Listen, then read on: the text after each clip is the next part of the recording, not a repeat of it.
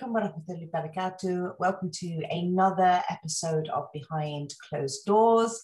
This week we are talking about the things that are not being spoken about in the Muslim community, women. And with me, I have my beautiful sister and my guest, Julie Siddiqi. Assalamu alaikum, sis. Walaikum salam wa rahmatullah. Thank you for having me.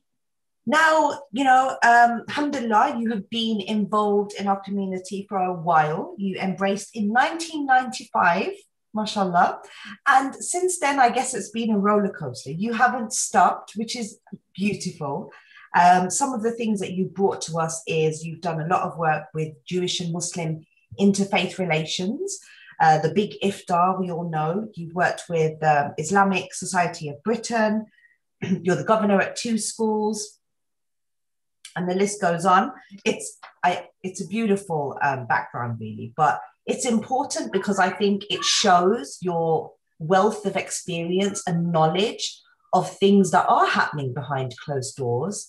Um, I had the privilege of meeting you when I was a newborn in the media um, spiel when I was on the niqab uh, debate. I think it was the Oxford Union I met you right? Yeah, something. Uh, I think. Yeah, yeah. How did I? I was like, I seen you the other day. You was on Instagram, and you know, you were talking about the fact that obviously there was a masjid in your local area that had said that women couldn't access Tarawih prayers, and you were upset about that. And of course, you know, I'm watching this video. But what really got me, and I wanted to cry when you said it, was you were like, 30 years, you have remained silent, you have bitten your tongue, but now this is it. You need to start speaking out. And I think that's really what was like, oh my God, I've really got to get speaking to you because I've been there, girl. Like I've been there, got the teacher, you know.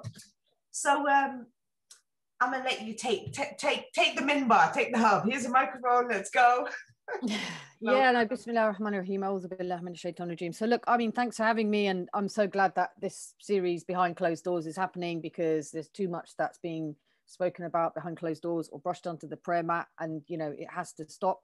And I think having said all of that, I think the over my years of being involved in Muslim communities, never have I seen women, Muslim women, speak up, speak out, connect, support each other as much as I am seeing now and I think that is a very positive development. I've got goosebumps actually as I'm saying that, um, and I think that is where I've always felt this is where the change is going to come for our community, how we kind of progress and move forward in the right direction. And it's going to be women that start to talk about the stuff that we all know about, but no one has wanted to talk about out loud. Of course, it's difficult to talk about things out loud, but I really feel, and I was thinking about it again this morning, that I have got, you know, decades, literally two decades worth of women's stories on my shoulders. That's actually how I see it. And, you know, I've heard it all. I've seen stuff, I've been told stuff. I have bitten my tongue often. I have spoken out before, but the way I've done it this time is definitely more public, more specific, and I guess more determined.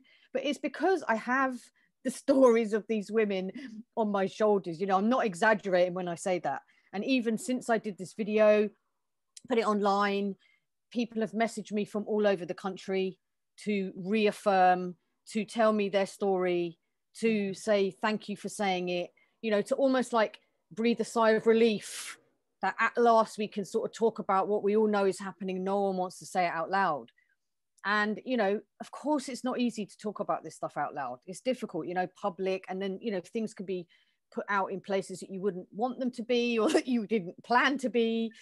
But one thing i do know is especially with social media is things only uh, go around in the way that this video has when it resonates. You can't fake that kind of stuff. You can't fake, you know, 13,000 views on Instagram. You can't fake just on my own Instagram. You can't fake the number of messages I've had. Like, we can't make that stuff up. Yeah. So, you know, in, in one way, yes, it's difficult. And of course, people, Muslims don't want to see a Muslim, you know, in a way, bad mouthing the Muslim community because that's how some people have seen it or, or bringing the mosques into disrepute. But I say, these are issues and if we're honest everyone knows they're happening and you know unless we actually talk about what is going to change and i think i've got to the point now you've mentioned the interfaith stuff you mentioned the social action stuff. I've done all of that and I love it and I still will continue to do it. But about eight months ago or a year ago, or maybe a bit before that, I thought to myself, you know, what shall I focus on? I'm 50 this year. What's going to be my kind of next 10 years, I guess, of, of me and what can I bring to the table? I'm, an, I'm a different person to how I was, you know, when I first became Muslim and when I did uh, women's stuff then. So I love the fact that actually, yes, if we go on to what are you doing now with that? And I noticed you've got um, a organization that you've put together. It's called Together We Thrive. Okay. Yeah. And it's a network online platform to train and inspire Muslim women to fully participate in society at every level and to challenge patriarchal attitudes in all communities and to ensure Muslim women are better represented in print and TV media. Okay. Well done, mashallah, right? Because, can I yeah. say, right? Yeah. Why? Because when I did the niqab debate, I almost had a bird's eye view of how media intelligence operated. Okay. So I see that, you know, even in that side alone, yes, sisters do need empowering, you know. Mm. So I applaud you for doing this. Inshallah, this will be successful because I think what you, what you've mentioned is that when sisters speak out, they can almost feel like they're going to get a backlash from somewhere, you know. Um, but we, in our experience, and I, I, I don't know, I can't compare my experience to yours and just talk about myself, but I found that actually there was no backlash you know, because I guess what I was doing was so small, you know, and yes, the stories came in, sisters would reach out, thank you so much for doing this. So that's where I think it's important, you know. So could you talk a little bit about your journey, you know, because you you for interfaith, for example, right? You are meeting other communities. And this is not about us outing the Muslim community, right? It's just the way that the dynamics of a community. Every community has their issues, right? Mm-hmm. So, how have you been able to, you know what I mean, bring that into together we we thrive? I just want to touch on it. I don't want to, you know what I mean, because I don't want to rush you through that. Yeah, yeah. No, look. So, um, I I started my community journey in Slough, which is where I still live and set up a Muslim women's group here back in the late 90s to early 2000s and chaired it for 10 years and learned a lot and loved it. And I still feel very nostalgic and all of that when I think about all of the stuff that we did and the social stuff and the friends and many of whom I'm still in touch with now. You know, it's amazing. I got to a point where I thought I don't really know what else I can do with this and I need to develop myself as well. And I got involved in other things. One of the most empowering things for me, I would say, probably in the last 10 years, has been working with women of other faiths and Muslim women, of course. And the reason I say it is because, you know, one thing you realize very quickly when you start to make friendships and build a bit of trust with women of other faiths, Jewish, Christian, etc., is that the stuff around gender, sexuality, you know, how women are perceived, actually there's a lot of commonality in the bad stuff, in the difficult stuff. You know, I remember the Archbishop of Canterbury himself once saying to me at an event, I asked a question, it was awkward, you know, there was there were Jews, Christians, Muslims there. And he came up to me afterwards and because he, he knew that the answer had been fudged as well a bit. He didn't answer it, someone else did. So he came up to me and he said, Look, you know, if anyone tries to tell you that we as Christians have got this whole gender stuff sorted out, then they're not telling the truth. Because 2000 years later, is what he said, we're still where we are now. We've got a long way to go. Mm-hmm. So, you know, those kind of conversations with people like him, but also especially with women, Jewish Orthodox women, and others who are challenging essentially the patriarchy and saying, we ain't doing this anymore. We need change. And as women, we can do it. Now, I found that really eye opening, quite moving at times, if I'm honest with you, because it's like, whoa, I remember being at an event, everyone was speaking, we were all kind of on the same page. And I thought, gosh, I felt quite emotional because I thought, oh my gosh, they are like me. You know, they're women like me who are feeling the same stuff. So I found that stuff to be really powerful and it's taught me a lot. It's opened my eyes a lot more. Um, and I think that in a way I've brought those experiences you know we're all the sum of everything we've done and all the people we've met right mm. so i really am feeling that now now i'm older um, sometimes wiser, sometimes not. And, you know, I've learned a lot and still got loads to learn, made all sorts of mistakes. I think I've got to the point now where I thought, okay, I want to now bring some of that learning and a lot of me into, in a way, back into the quite specifically Muslim space, even though I will be and still am working with and doing work with people from all sorts of backgrounds. My focus, my passion, my drive is now on this stuff with Muslim women. And mm. rightly, as you said, not just on the sort of the really difficult stuff, i.e., you know, stopping women from praying in a mosque, but that's a big thing for me. But the stuff around building women as people, how do we get Muslim women to discover themselves earlier on in life than a lot of them do? Because a lot of the time, women in general and Muslim women with their own specific stuff going on in the community often give everything to everybody else hit 50 or 55 and think oh my gosh i've had no life of my own. You know i don't want people to feel like that. I want people to be able to be fully themselves develop that confidence while also of course having family looking after others etc so for me that's what together we thrive is about. I love the word thrive but the together bit for me is really important because one thing i've noticed and where i've identified a gap kind of nationally with muslim women is we're not connected enough together.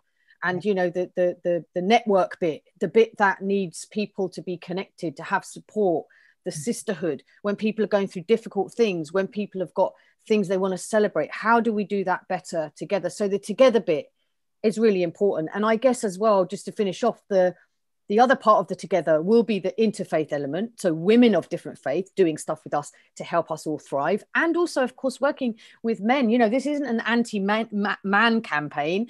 Actually, for a lot of what we're talking about and a lot of what I see, men need to absolutely step up and get much more involved. And, you know, we're ready for that, right? We're not saying it's a women thing. It's about where are the male allies? Why have they not done more, frankly, on some of the issues that are behind closed doors? And how can we work with them to move it forward mm-hmm.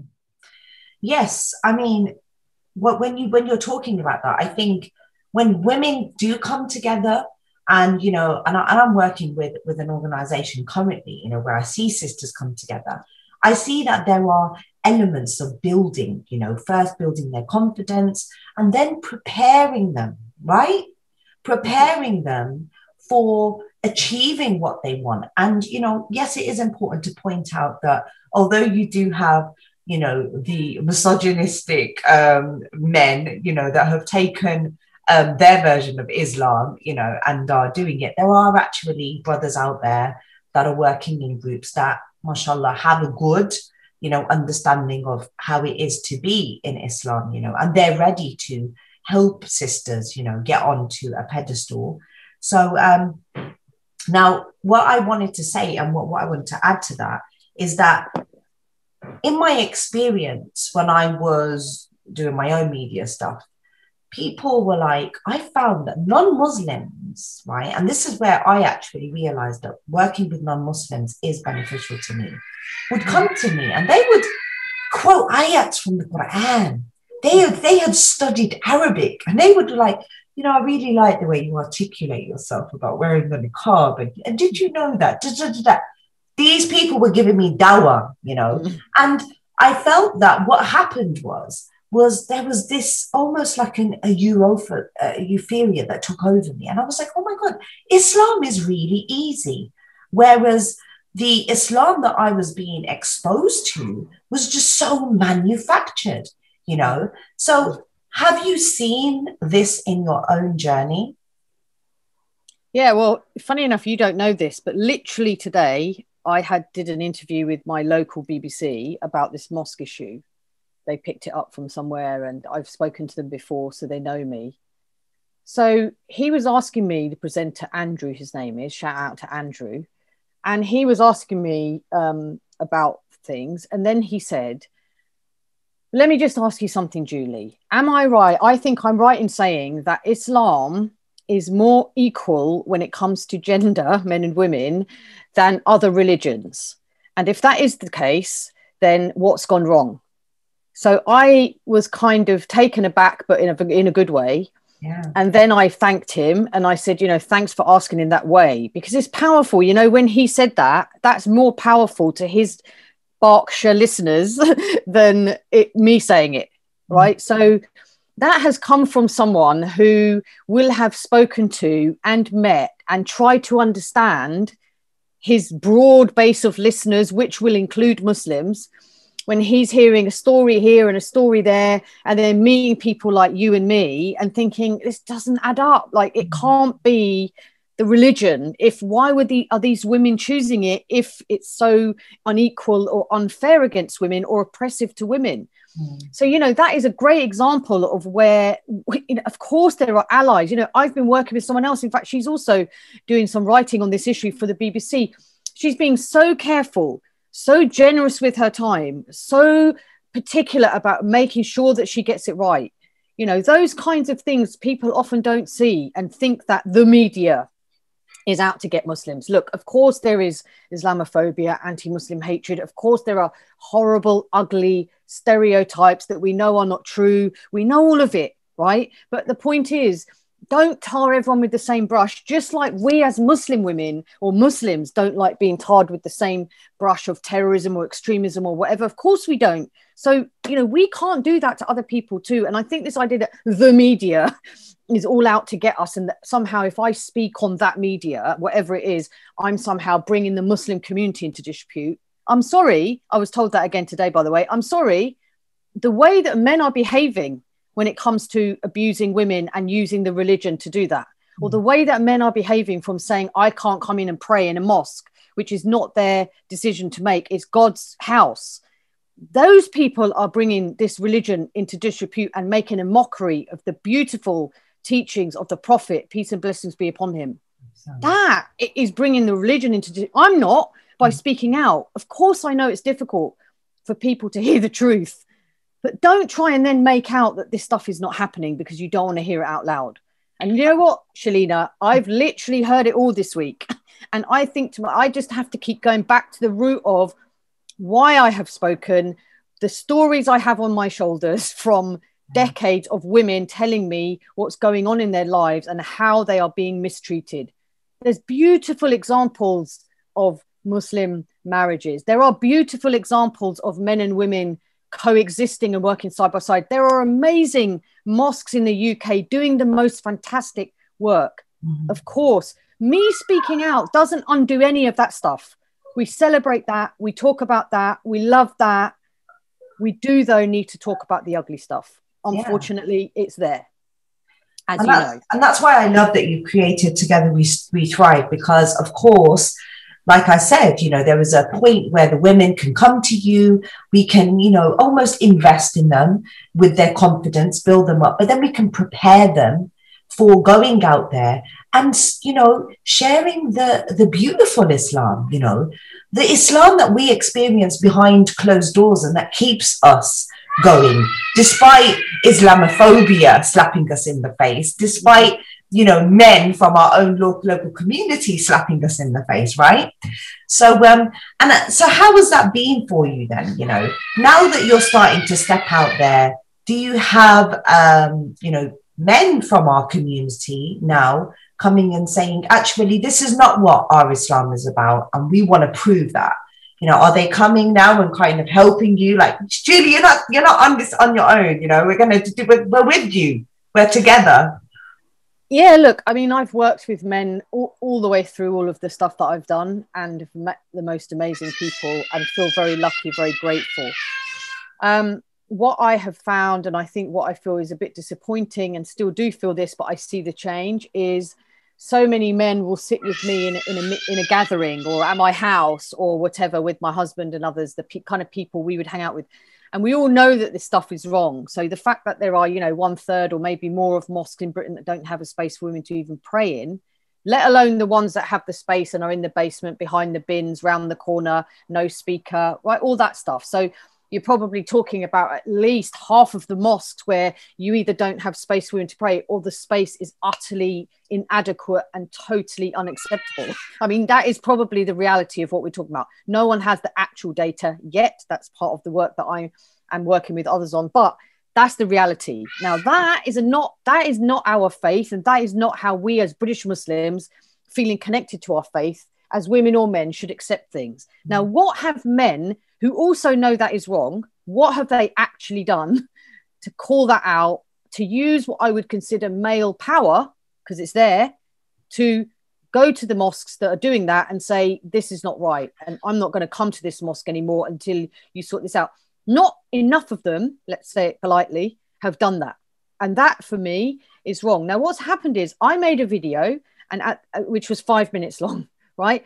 Where I specifically called out the issue, yes, connected with Ramadan, and yes, there's a connection to my own mosque, of course. And I felt upset. I felt angry, and I waited until I calmed down. I told the mosque I was going to speak publicly about it if they didn't change it. They didn't reach out to me. I did what I said I was going to do. So I didn't do anything wrong in that sense. Yeah. I did a five minute video, but it was from right from here.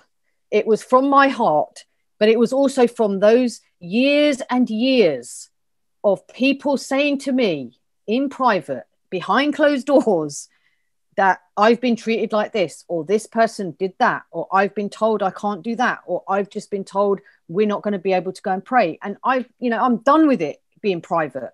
Mm-hmm. So I said it out loud. And at the end of the video, I specifically said at the camera, I am talking to my Muslim brothers here too. You have to step up. Now, some people who I've known for a very long time did step up and contact me and were as upset and disgusted as me at the general issue in the way that I had laid it out, not about my mosque, not about COVID, not about Ramadan, about the big issue, and said to me, What can I do? You know, so those are the kind of responses that I wanted, frankly, because I want them to be stirred by it and realize okay, there is a lot more I can do on this. Now, and that's what's, about, that's what's happened. When we talk about what can be done, right? We have um, the famous hadith. If you want to know uh, a community, then look at the women, right? Let's look at the women. Uh, domestic violence, financial abuse, you know, um, single mothers, the divorce rate is high, you know, mental health, you know, the list goes on. And for me, you know, the khutbahs are the perfect opportunity for these things to be addressed. Just like our sisters need schooling and preparing for the likes of Islamophobia and, you know, um, how to actually practice their, their deen, how to look for the right husband nowadays because of the level of narcissism. You know, I say that the khutbahs are actually that point, and, I, and I'm raising this because I hope that, you know, those that ever do, you know, watch this video are like, okay, we're going to start doing this, you know because I understand that that's how Prophet Muhammad used to address, you know, the Ummah. Is if there was an issue, you know, it would get raised. We know that sisters need help, you know. So many sisters are leaving the deen. So many sisters are leaving Islam, right? And I'm like, subhanAllah. And they're like, Shalina, I'll understand if you don't want to speak to me. I'm like, what? No, no, no. I'm still going to speak to you because I still got a connection with you you know i might allow them to go on their journeys but have you have you noticed do you feel the same about the fact that one of the solutions could be the khutbah yeah, for sure. I mean, look, there's a huge potential, and definitely, if you look back at the time the Prophet, peace be upon him, you're right in saying that it, it, was addressing the needs of the day, right? And so, you know, to be able to sit and listen to that must have been amazing because it was the place to be in that sense, right? And and importantly no one was excluded from that place. And everyone was part of it. And women could stand up and ask a question. You know it's like unrecognizable now to what i see. So even in the better mosques let's say it like that in this country i don't think there are really any where the women could actually stand up and say I, I don't i don't agree or can you just clarify? Like directly that that we just haven't developed that culture but that was all there. And those examples are very clear. Mm. and you know do not prevent women coming to the masjid. Very clear. He was very clear about that. Yeah. and the stuff then around which is where i think more education is needed and more clarity and more discussion is the is the uh, uh, hadith that is much more unclear but is used all the time which says prayer for women is better at home. Those things have been taken out of context. Yes, he did say it, peace be upon him. What did he mean? Why did he say? We need to clarify that because there's no way it was meant as an oppression to women. And there's no way that it was meant to close the door on women and to stop them from benefiting from exactly what you've just said. The other part of what he said, which was to listen to the khutbah You know, there will be people, mosques in this country on Eid this year again, where women won't be praying Eid prayers, right? And so you start to think, hang on, where's the mismatch? And this hadith about do not prevent women coming to the masjid is very clear and totally agreed upon, totally mm. authentic. And yet others will conveniently talk about it and then let it slip so they can talk about the other stuff. And for me, there's a whole thing there about education. And I want people to really try and put themselves in the shoes of being a woman in those times. Of course, it's not Saudi Arabia 1400 years ago. We're living in Britain in 2020. I'm in 2021. I'm in Slough. It's very different, right? But you can take the principles, which is what we all try and do all the time. So if we're saying that we're following the Sunnah, where's that Sunnah? Because I'm not. I'm not seeing it. I'm not seeing it. I'm not feeling it. You know, I was speaking to some people the other day, and I started crying. I started crying when I spoke about the Prophet, peace be upon him. It really, I wasn't expecting to but the reason I started crying was because I was remembering and thinking about all this stuff that I keep seeing about honoring the prophet. Don't talk to me about honoring the prophet when you're shouting and screaming with a megaphone. That's not honoring the prophet. You know, talk to me about how we as community, women, men, young people, can work together and really genuinely honor the prophet, peace be upon him, and not don't make it all about that.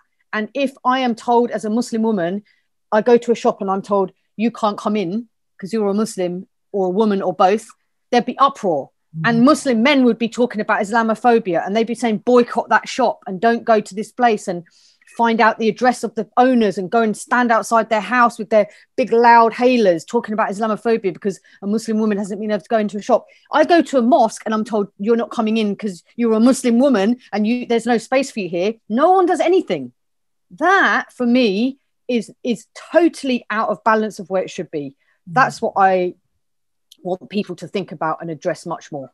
And I think when you say about getting upset about when we think about Prophet Muhammad, um, you know, for me, um, the last sermon is what always hits it for me because, you know, it was so apparent that Prophet Muhammad um, knew the direction that a people would naturally take you know, and making sure that women were on there, making sure that there was no um, prejudice when it came to who you were, whether you, whether you were Arab, whether you were black, you know, it's there, subhanallah. And, you know, for us to see it, and I guess because we're actually out there on the front line, you know, we see it because we hear not only the sisters coming to us, but the, cho- the sisters that are raising the children with the mental health issues so then not only do the ch- the sisters have mental health issues, the children then have mental health issues because you know brothers are having children and then um, divorcing the women, not providing for the children, and going off and getting married and doing it all again. Yeah, exactly. Honestly. You know, and um, subhanallah, like it's just enough is enough, you know, and um, inshallah, maybe things are changing, and I pray that we can do that. So ending on a much stronger, you know, um, note, you've also co-founded Open My Mosque. Hmm. What is that? Yeah, so look, I mean, it's all part of what I'm talking about now. So we started it actually on the back of what was, you know, in a way, we chose the name deliberately because the MCB at that time had started Visit My Mosque. And while I'm a, a fan of that stuff, right, I've been talking about that as well for a long time. Mm-hmm open up, bring people in, do work with people of different faiths, let people see the mosque is not a hotbed of terrorism and we're not making bombs. You know, it's a beautiful place. Bring people in. That's the only way that they're going to break down those stereotypes. I totally love it. I agree with it.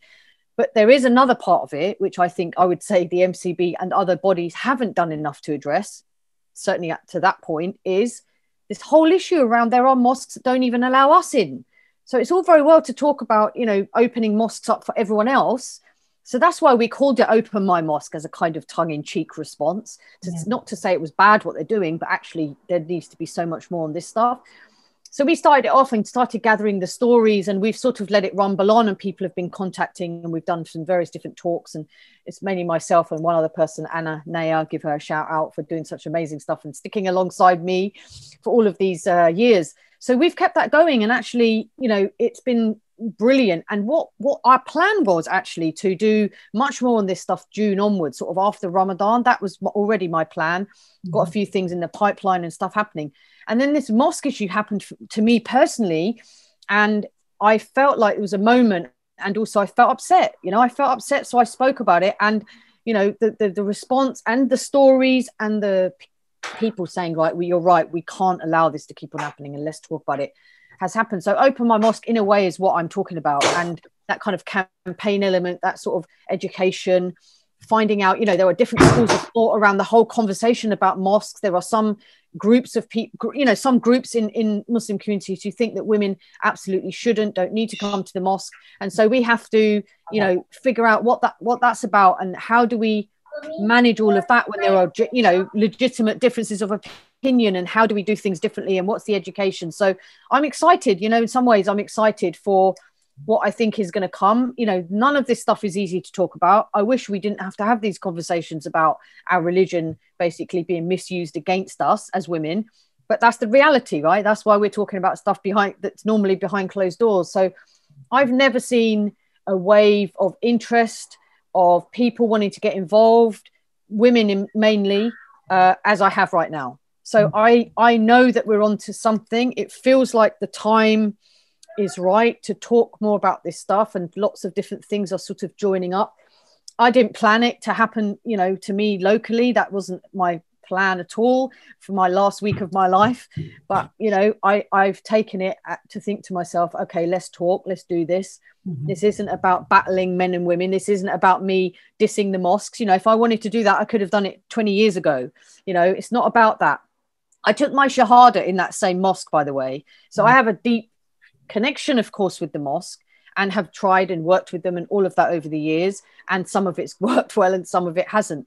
I just think don't use COVID and health and safety to stop women coming from them to the mosque because that's what's happening, not just in I mine, but in lots of others around the country. What was important, sorry, but was that the government themselves and other faiths like churches and mm. whatnot, you know, if they're making room for women to enter these establishments.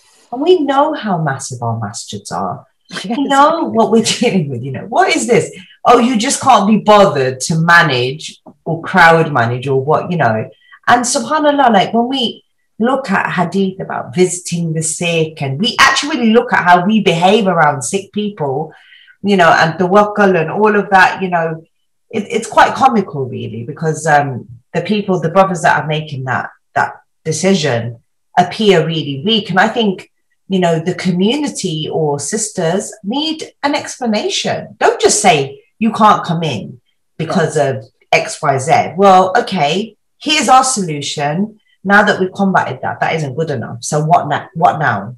You know, and it's I interesting think- because and these things can be complex. And of course, in my own mosque case here lo- locally, and this is happening. This is a live story that we're talking about right now for me.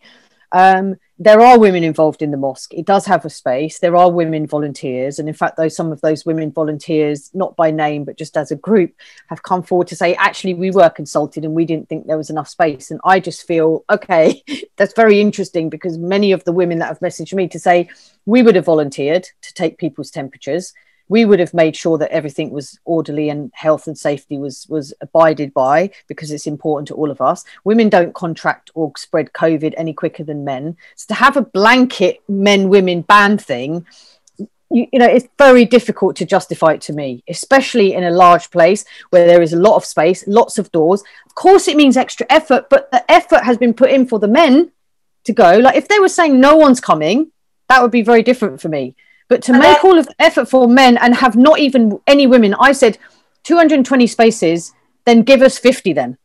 Yeah. If, if you can't do half half, then fine, give us 50. At least I will feel satisfied that some yeah. women who honestly people have said to me i feel so disappointed and let down that i'm not even going to be able to give it a chance i've had a really tough year through covid looking after everyone i needed to be able to go and listen to the quran to be with other women and to just pray on my own, not in my own house. Yeah. That is what we're talking about here. I mean, honestly, it's so obvious to me, but but then, but then, as you said, unfortunately, um, we're not in that position where women, all women, can just do that. I mean, there are some women, unfortunately, that you know don't have the kind of husbands that are like, "How are you, my dear?" You know, "How do you feel about this, my dear?" You know, no, I'm the man of the house, and this is what I think, so everyone must follow suit.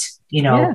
There's no there's no reasoning and stuff so uh, imagine the difficulty a lot of women have been through in the last year. And i'm not saying that all of those who've been through difficulties can go to the mosque but some of those women that would have prayed at that mosque really needed it. That's the reality. And i i feel really that we've been let down like that it's been one I really do. hell of a year but um, really difficult but a beautiful anyway to be continued and watch this space yeah? A beautiful ending i think. Yeah because you know at the end of the day you haven't been defeated julie. And uh mashallah you know you're using uh, your knowledge your wealth of experience to like you said now invest it into something that can make a difference. And i think everyone that's been on this circuit gets to that point you know and that's why you know, I'm so grateful for Muslim Women's Network for actually yeah, absolutely. doing behind closed doors because they have obviously um, their helpline, you know, where they have information coming in and they see this, you know, yeah, they, exactly. Some of the horror stories they get. They're doing a great job, you know, and there's very few platforms like this and with people like that. So, you know, I also am very grateful and I think, you know, l- long may it continue really because this is what we need. Yes, definitely.